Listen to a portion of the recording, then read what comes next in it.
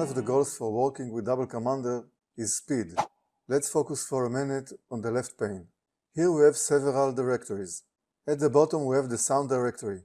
Now instead of typing many times the arrow keys to go down to the sound directory, I can simply start typing SO and here we're standing already on the sound directory.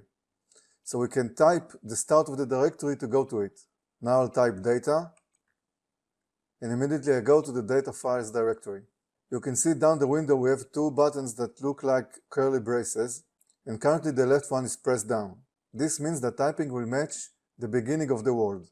If we cancel this one and instead press down this one, it will match the end of the word. So for example, if I type TIO, I go immediately to the destination directory and it considers these letters to be the end of the word destination.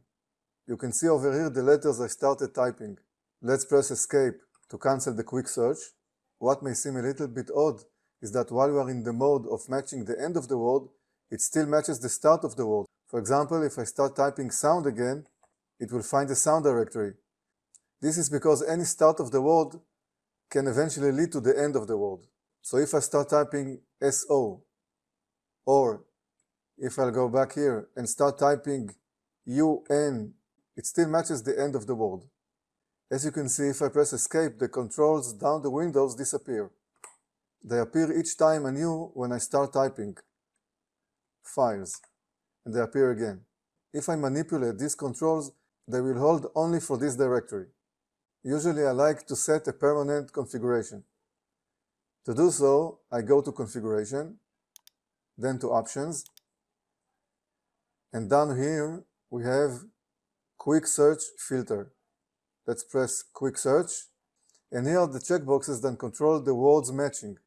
I just make sure that all the checkboxes are cleared.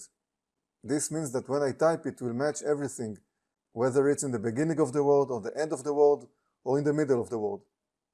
So let me close this window. Save changes, yes. Now I close double commander with Alt X and I'll open it up again. And now let's go to the Julia directory. I'll type UL. I didn't even need to do that. I only typed U. Let's go inside the directory. Here we have three files. If I want to go to the numbers 2 file, I simply have to type 2. This quick search feature works on both files and directories. I recommend to start practicing on this feature because it will make your work with files much quicker and more convenient. Thank you for watching. Don't forget to subscribe, and I'll meet you on the next videos.